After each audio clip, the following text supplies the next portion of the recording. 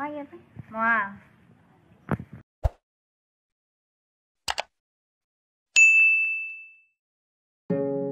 Kondisi terkini masih tetap sama kayak tadi dok.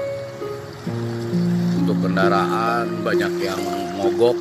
Seorang ibu-ibu tetap berjualan meski banjir melanda wilayahnya. Dalam video terlihat ibu-ibu tersebut tengah melayani pembeli dari atas rumah. Di 20. Pembelinya menggunakan seutas tali untuk menarik jajanannya. Banjir setinggi dada dewasa membuat penjual ini menggunakan ban bekas untuk mengapungkan jualannya. Banjir tersebut terjadi di Dayakolot, Bandung, Selasa, tanggal 25 Mei tahun 2021.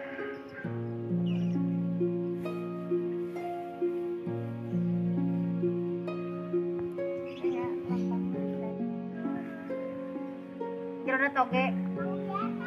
Di 20.